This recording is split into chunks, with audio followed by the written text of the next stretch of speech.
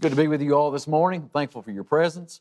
I'm glad we can be here and have the opportunity to worship God together and encourage one another and remind ourselves of what's most important, and that's His grace that reaches us, that we can have forgiveness of our sins and have that wonderful hope of eternal life in heaven. Let me invite you to open your Bibles this morning to Leviticus chapter 16. And please drop you a marker there, Leviticus chapter 16. And after you mark that place, turn with me to 1 Corinthians chapter 15. So that is marking your place at Leviticus chapter 16 and then turning over with me to 1 Corinthians chapter 15, and we'll shortly pick up our reading there. This morning, I want to talk with you about the ascension of Jesus and the important role it plays in the atonement of our sins. I think this is all too often overlooked when we're talking about this subject of atonement and how the ascension of Jesus plays into this, not only plays into this, but plays a very, very significant role when it comes to our atonement and the forgiveness of our sins. As we begin to think about this, let's first of all notice a biblical definition, a biblical definition, that is, of atonement. The Holman Bible Dictionary defines atonement this way a biblical doctrine that God has reconciled sinners to himself through the sacrificial work of Jesus Christ. The concept of atonement spans both testaments, everywhere pointing to the death, burial, and resurrection of Jesus for the sins of the world. And that is true. Old and New Testaments alike, you have this picture of atonement being made, and the ultimate picture it's pointing to is what Jesus did for us so that we could have forgiveness of our sins.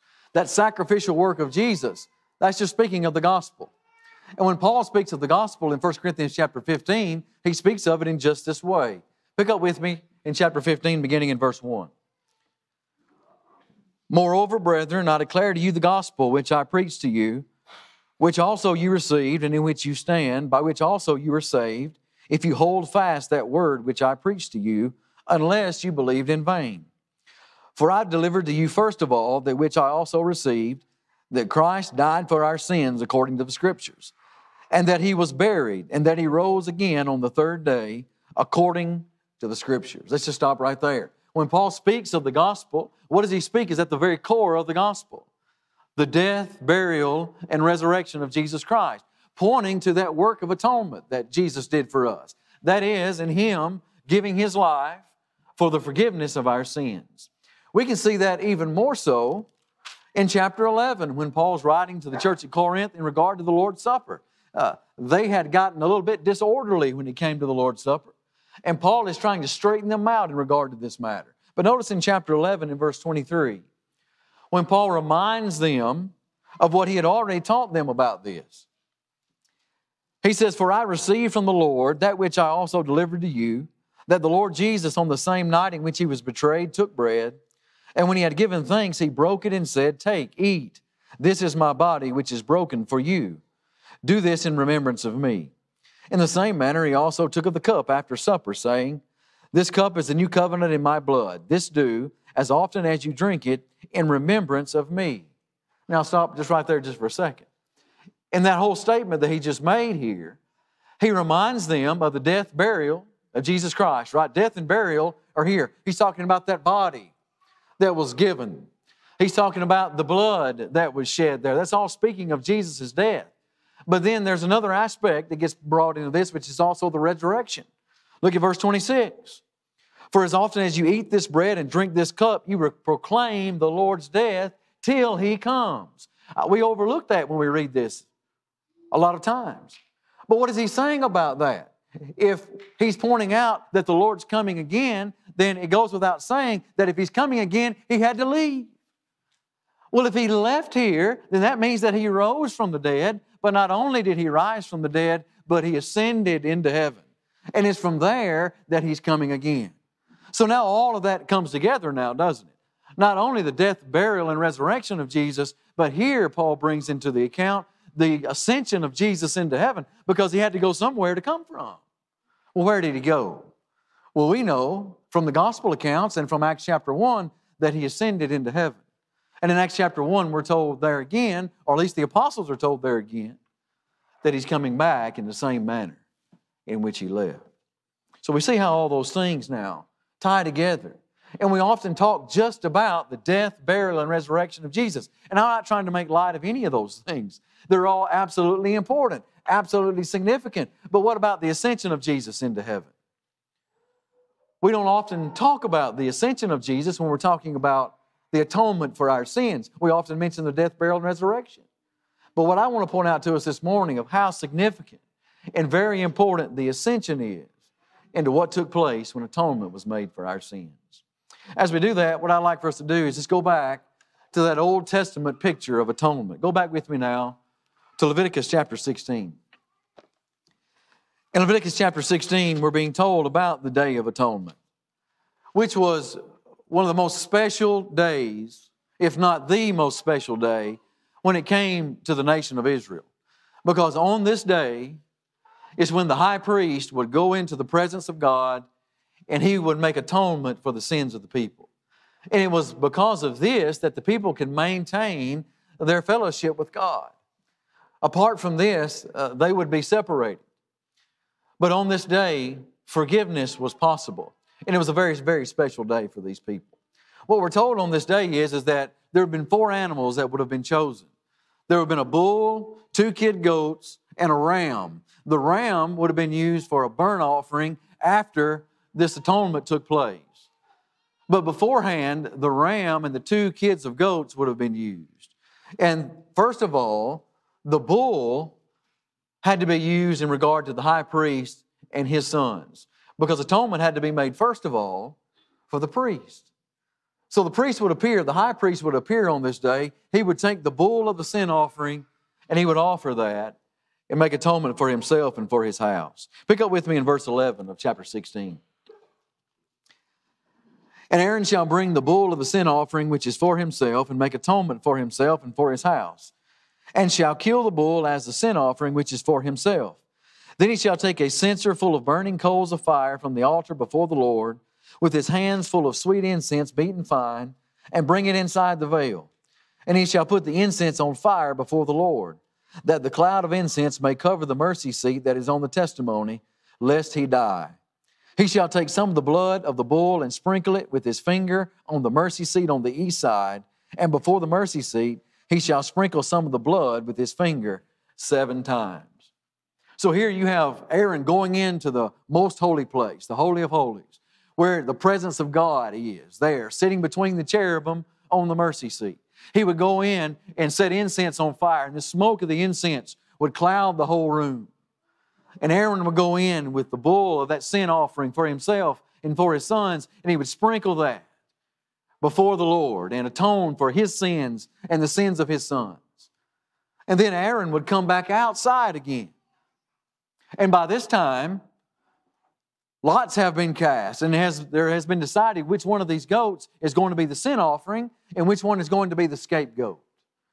The scapegoat will be used later on, but the sin offering is going to be used for atoning for the sins of the people. The one that is the sin offering is then killed. And then Aaron would go in then and offer on behalf of the people. Pick up with me at verse 15. Then he shall kill the goat of the sin offering, which is for the people. Bring its blood inside the veil. Do with that blood as he did with the blood of the bull, and sprinkle it on the mercy seat and before the mercy seat. So he shall make atonement for the holy place because of the uncleanness of the children of Israel and because of their transgressions for all their sins. And so he shall do for the tabernacle of meeting, which remains among them in the midst of their uncleanness. There shall be no man in the tabernacle of meeting when he goes in to make atonement in the holy place, until he comes out, that he make, a, make atonement for himself, for his household, and for the assembly of Israel. And he shall go out to the altar that is before the Lord and make atonement for it. And he shall take some of the blood of the bull and some of the blood of the goat and put it on the horns of the altar all around. Then he shall sprinkle some of the blood on it with his finger seven times, cleanse it and consecrate it from the uncleanness of the children of Israel.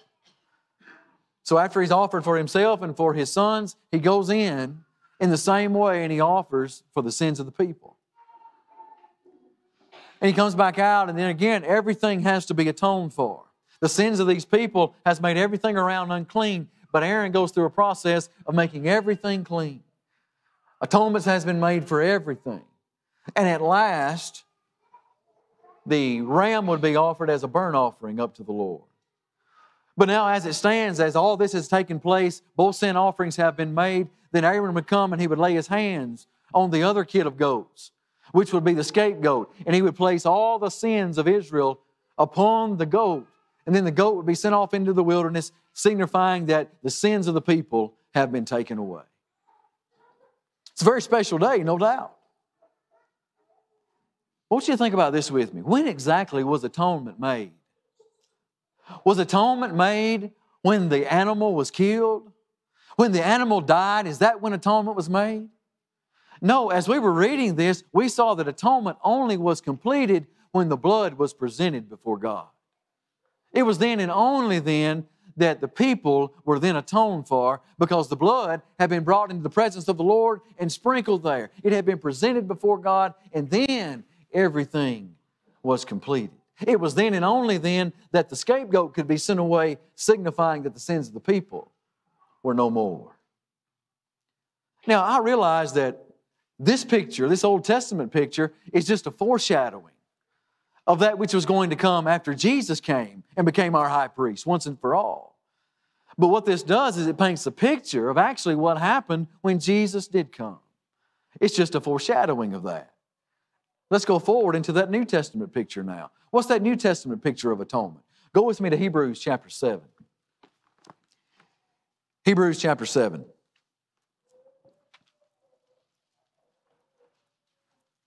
As already mentioned, Jesus is our high priest. But Jesus, unlike the high priest of old, he didn't have to go in and offer for himself and for his own sins. Well, why? Well, the Hebrew writer tells us, beginning in verse 26, speaking of the high priesthood of Jesus. Hebrews 7 and verse 26. For such a high priest was fitting for us, who is holy, harmless, undefiled, separate from sinners, and has become higher than the heavens, who does not need daily, as those high priests, to offer up sacrifices, first for his own sins and then for the people's. For this he did once for all when he offered up himself. For the law appoints as high priests men who have weakness, but the word of the oath, which came after the law, appoints the Son who has been perfected forever. Now, speaking of Jesus as our high priest today. It goes back to talk about those high priests of old that we talked about first of all, who, first of all, were not perfect. And before they could atone for the sins of the people, they had to make atonement for their own sin because they too, they were sinful people. But as we come to the reality today, which, which we have in Jesus Christ, we understand that we have a high priest who is sinless. He was separated from sinners. Though he came here and lived among us, he did so without sin. He did, he did that so that he could fulfill the law that was in place then, so that he could become the one that could make atonement for our sins. And because he came here and he lived among us, and He knows the temptations, the trials, and the difficulties we face. He can sympathize with our weaknesses, though He does so without sin, which makes Jesus that perfect, not only perfect high priest, but it makes Him also the perfect sin offering. Not only is He the perfect high priest and sin offering, but He's also the perfect scapegoat, isn't He? You see how Jesus becomes all three of those? All three that we talked about in that Old Testament picture of atonement the sin offering. Jesus has become the sin offering.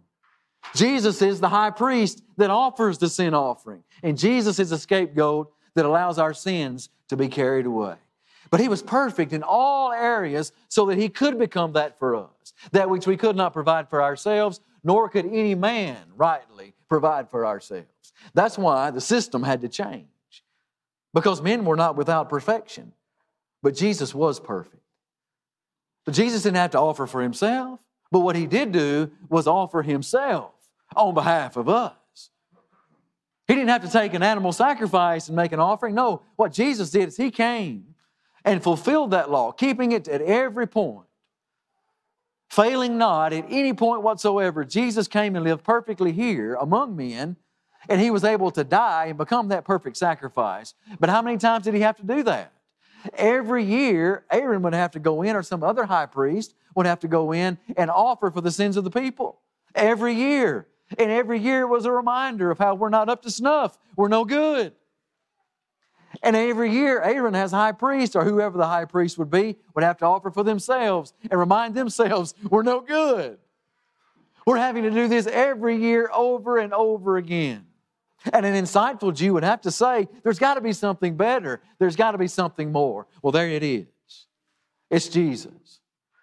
And Jesus came as that perfect sacrifice, and He offered once and for all. When Jesus offered, it was a one and done thing. And He offered for every person so that every person will now have the opportunity to have forgiveness of their sins. Yes, we all have sinned against God. All sin and fall short of His glory. And there's nothing that we can do in our own right, there's nothing that we can do in our own means to better that situation. We can't atone for our own sin, no matter how good we may think we are or no matter what we do. We had to have someone better than mankind to come and atone for us. And Jesus came and took on the role of mankind and made it possible for us in the offering of Himself so that we could have atonement for our sins, so that we could be reconciled to God, so that God would no longer look upon us and see us as sinners, but He'd look upon us and see us as righteous reconciled to Him to now have fellowship with Him, not only here on this earth, but on into eternity. How special is that? Well, it's the very principle of everything that we are as Christians. Without that, we're nothing. But with this, we actually become something in Jesus Christ, don't we? But as you think about this picture of atonement and how important it is, was atonement completed when Jesus died? You know, in our minds, I think we think that. Please understand, and I'm not downplaying the death of Jesus. Why would I do that? I mean, it would be senseless for me to try to downplay that. I'm not downplaying that at all. I'm just trying to talk about the significance of every aspect. The death and burial of Jesus was very important. Without his death, there would have been no shedding of blood. However, the resurrection of Jesus was also very important too, because without his resurrection, there would have been no Him overcoming death, and therefore we would have had no way for resurrection life ourselves. But what about the ascension of Jesus? Is it not also important too? Think about it. Atonement wasn't completed at the death of Jesus. Why is that? Because just as in the Old Testament picture of atonement, when was atonement completed? It was completed when the blood was brought into the presence of God. When Jesus died and was buried, was his blood brought into the presence of God? Well, no. When Jesus died, was buried, and resurrected from the dead, was his blood at that moment brought into the presence of God? No. Because Jesus was on earth for a good while after his resurrection, and he had not yet gone into the presence of God. So then there has to be another moment there has to be another something that took place for Jesus to be able to bring his presence or his blood into the presence of God. Because that's the very moment that atonement is completed, right? And we read from the Bible that that did happen. Hebrews chapter 9, beginning in verse 11. In verses 6 through 10, the writer is speaking again of that Old Testament picture. That there were those priests of old who go into the tabernacle with blood of an animal but Jesus went into a greater and more perfect tabernacle, not with the blood of any animal. Look at verse 11. But Christ came as high priest of the good things to come, with the greater and more perfect tabernacle, not made with hands, that is, not of this creation, not with the blood of goats and calves, but with his own blood he entered the most holy place once for all, having obtained eternal redemption. For if the blood of bulls and goats and the ashes of a heifer, sprinkling the unclean, sanctifies for the purifying of the flesh, how much more shall the blood of Christ, who through the eternal Spirit offered himself without spot to God, cleanse your conscience from dead works to serve the living God? There again, the Hebrew writer says here that Jesus, being our perfect high priest who offered a perfect sacrifice for us, he took his blood into the heavenly holy of holies and he presented his blood before God. And that is the moment when eternal redemption was accomplished. Not before then, but at that moment. Well, if Jesus accomplished and completed our atonement at the moment he presented his blood before God, then when did that happen? It didn't happen at his death. It didn't happen at the moment of his resurrection. It had then to happen at his ascension into heaven. Are y'all following me now? And how important the ascension of Jesus is to our atonement? And how little we speak of it when we talk about, oh, the death, burial, and resurrection of Jesus. Again, all those things are very important. Let me illustrate it this way. We've got really good lights in here, don't we? I don't think the lights were very good before. I think they were pretty spotty. But now, I mean, we've got light. And it beams and we can see very well. But you know, the only way this light is possible is there's several steps that have to all be there working together. There's a transformer out there on the pole which brings power into this building going to a breaker box. And from that breaker box, you've got wire going to a switch on the wall. And from that switch on the wall, you've got a wire running to a fixture there. And even if all those things are in place and working as they should, you're never going to have light unless you screw a bulb into the fixture. If you have no bulb in the fixture, you'll sit here in darkness, even though everything else is in place just as it's supposed to be. Isn't that right? You can shake your head. Do you believe it? That's right, isn't it? You've got to have a light bulb in the fixture to have light. Everything is essentially important to have light, isn't it? Every step. Why don't we think about this in the same way? And I think we should because the Bible speaks of the importance of each and every step. The death and burial of Jesus, absolutely important. Prophesied, had to be fulfilled. No way for his blood to be shed so our sins could have a sacrifice to be forgiven. The resurrection of Jesus, prophesied, had to be fulfilled. No way we can have atonement without his resurrection because no way we can have resurrection life. What about the ascension of Jesus? The ascension of Jesus is absolutely important, isn't it?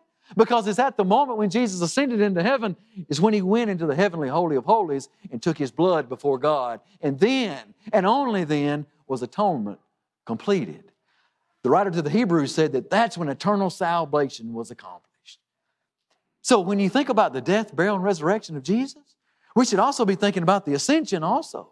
And add that to the discussion because every piece of that completes the picture. It completes the puzzle, if you will.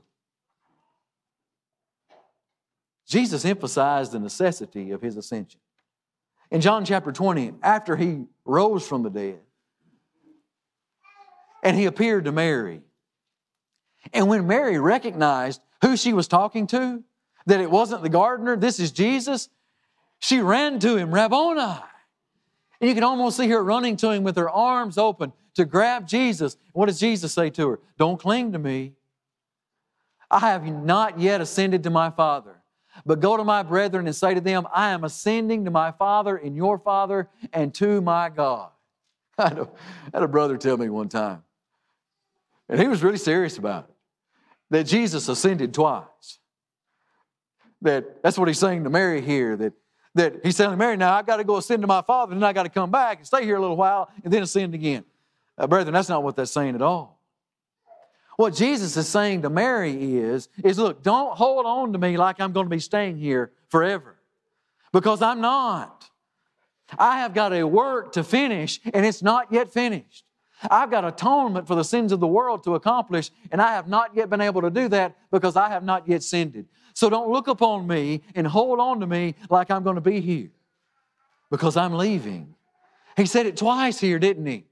How important was the ascension to the Father? Well, Jesus made it very important right here because that's when atonement was going to be accomplished. It was the only way that we were going to be redeemed.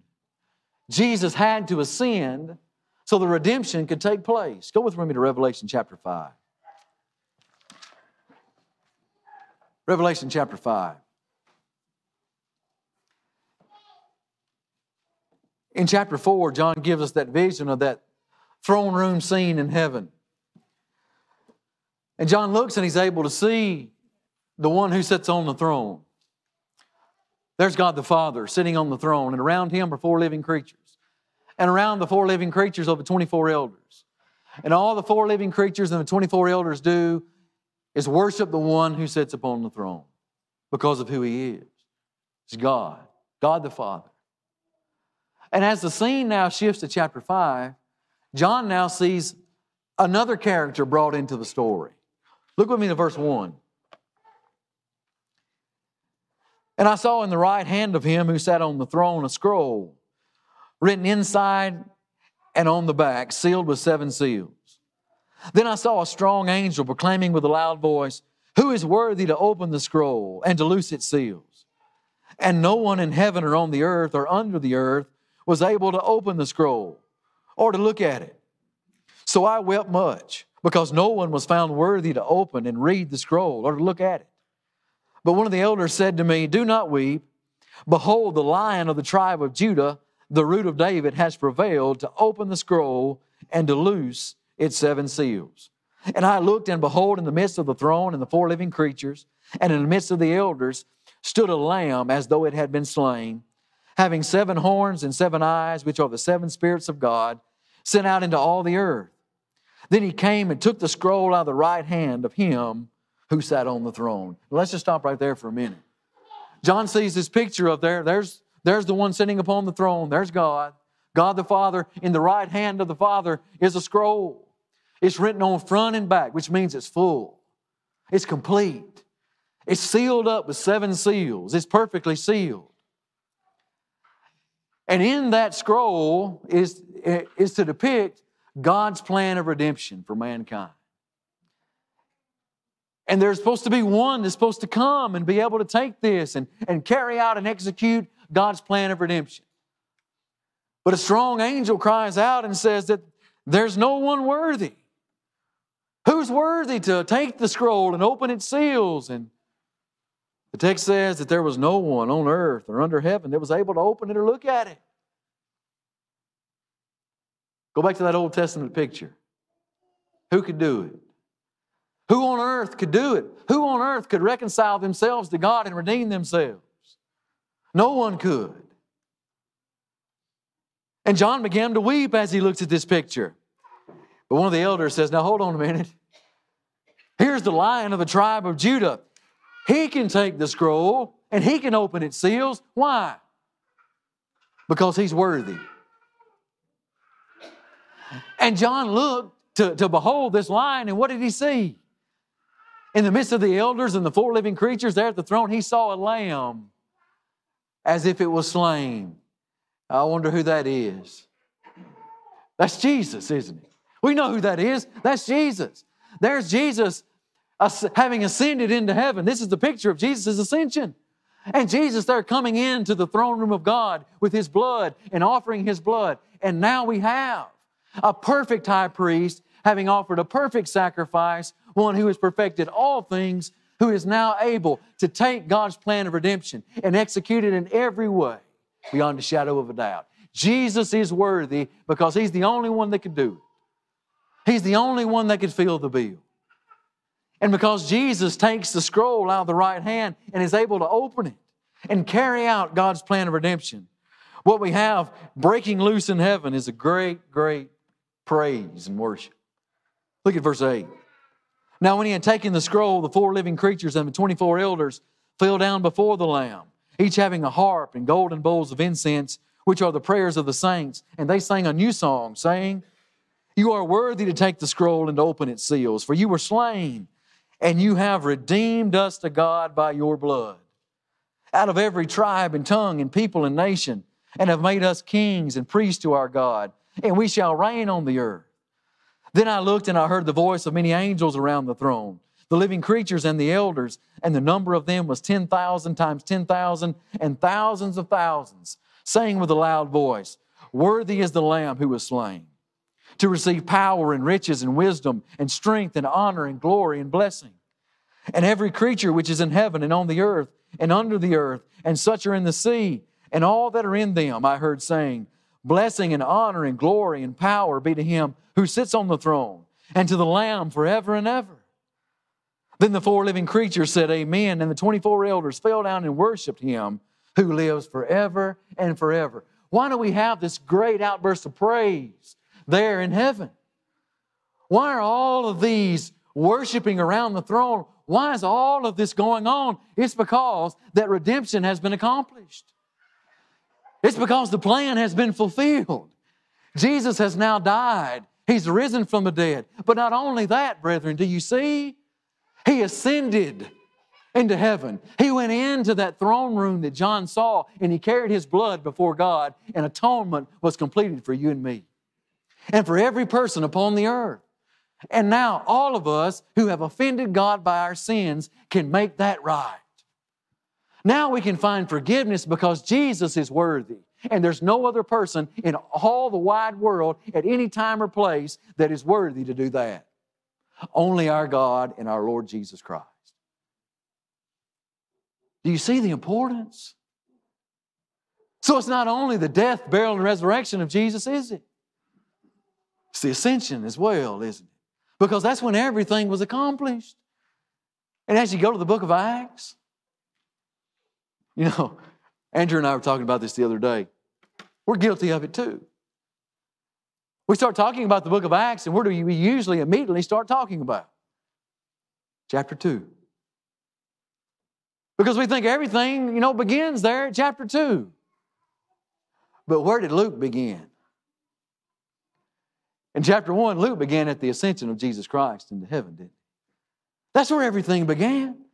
Because if Jesus had not ascended, his blood would not have been offered in the presence of God. If his blood not, had not been offered in the presence of God, then the plan is not in place. There is no hope. But it's after the ascension of Jesus when the church began. There's the story, right? We don't have to turn there. We should all know what goes on there. Acts chapter 1, that's Luke and the 11 out there. You know, as Jesus is giving them parting instructions, he begins to lift up in the air and ascend into heaven. And those angels say to him, Now listen, this Jesus who's left in this way, he's coming again. And after that, you have that picture that we just read in Revelation 4 and 5. From the time Jesus ascended into heaven until Acts 2 begins, you have that Revelation 4 and 5 story taking place. Jesus going in and offering his blood and atonement being completed. And then, the next thing you know, what happens? The Holy Spirit sent. And Jesus talked about the importance of that before he ever left. In John 16, he told them, you know what, it's, a, it's to your favor that I leave. It's to your benefit. Because if I do not go, the Holy Spirit cannot come. But if I leave, I'll send him to you. And did he not do that? He most certainly did. In Acts chapter 2, we find that Jesus there in heaven pours out the Holy Spirit. The apostles receive it just as was promised. And now they're able, by revelation of the Holy Spirit, to reveal and confirm the Word of God. Now people can know, have the keys to the kingdom, and know exactly what to do to find forgiveness of sins and become Christians. And as the story goes on, that's just what you see. The rest of Acts chapter 2, the gospel is preached. You have the first gospel sermon preached after the death, burial, resurrection, and ascension of Jesus into heaven. See how the ascension is important in that story now? Because it's only after the ascension that the gospel was preached, because then the Holy Spirit was sent. The Holy Spirit couldn't be sent unless Jesus had ascended. So you see, there's another very important aspect of the ascension of Jesus into heaven. And once the Holy Spirit is sent, the gospel is preached, and it's after the gospel is preached that disciples are made and added to the church. It's then and only then that that can actually happen. Why? Because it's then and only then that atonement has been completed for their sins. Now, that's a, that's a really great picture, isn't it? And I hope this morning that I have done just that. It's helped complete that picture. I'm again not trying to make light of the death, burial, and resurrection of Jesus. Is that what, the third time that I've said that now? And I hope I've got that point across. I'm not trying to make light of it. Every piece of that is absolutely important and necessary.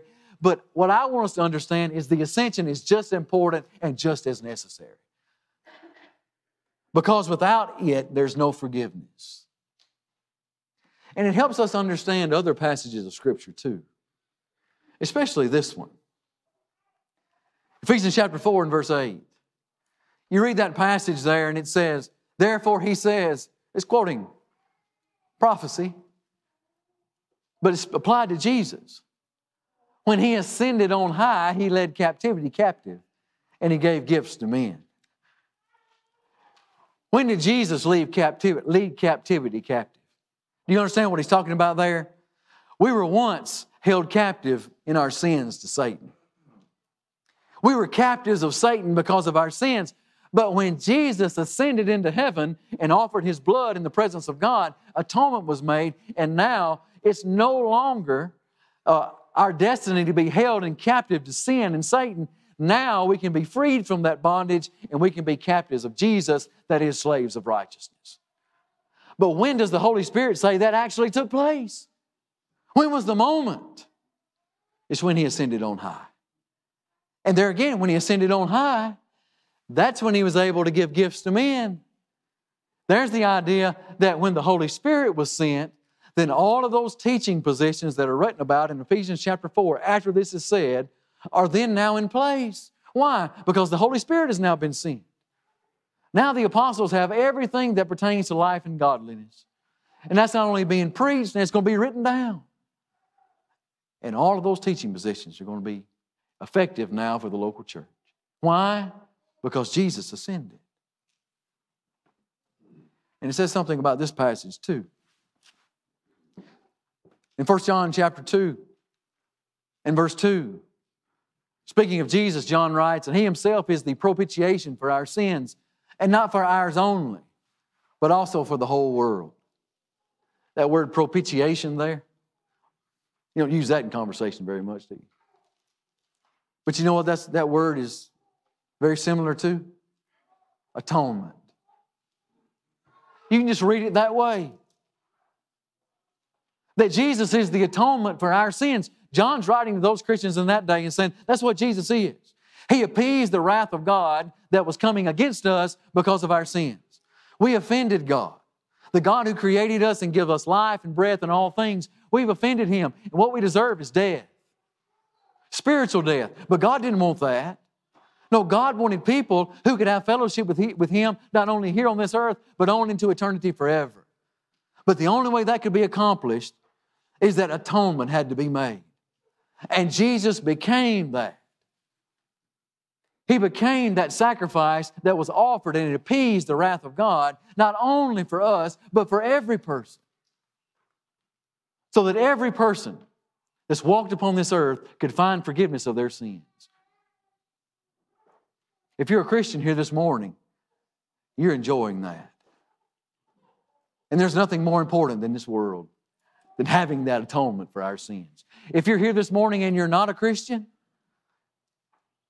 you don't have that. You know, Jesus is coming again one day.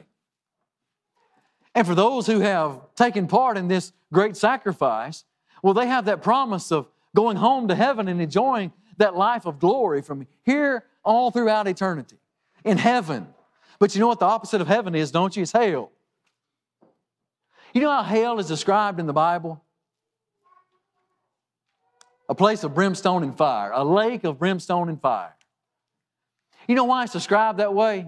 Because I think in human terms, that's probably the worst thing we can think of. A lake of brimstone and fire? I mean, that's the worst torment you could ever face. But let me say you this the, the figure is always less than the reality. Hell's going to be a lot worse than any lake of brimstone and fire. You know why? Because God's not going to be there. You know, God has blessed this earth and continues to bless this earth. And as we live upon this earth, even those people who aren't Christians are being blessed by the hand of God. But one day, apart from obedience to the gospel, you'll spend an eternity out of the presence of God. God will not be there. That'll be the worst thing that anybody could ever imagine, far worse than any lake of brimstone and fire. However, heaven's pictured as streets of gold and gates of pearl. And I think that's probably some of the finest things that we could ever think of. But in the same way, the figure is always less than the reality. Heaven's going to be far greater than these streets of gold and gates of pearl. But do you know why? It's because God's going to be there. And that's all that matters. Being in the presence of a God and a Lord who gave his life for us, bought us with a price we could never pay, that I was never worthy to receive. Atonement made through his death, burial, and resurrection. If you're here this morning and you're not a Christian, we urge you and encourage you to take part in that. We want to help you and we stand ready. If you're ready to repent of your sins, be baptized for the forgiveness of those sins, please come this morning while you have the opportunity. If you're a Christian here and you need help in any way to make your life right with God, please do that as we stand and we sing this song.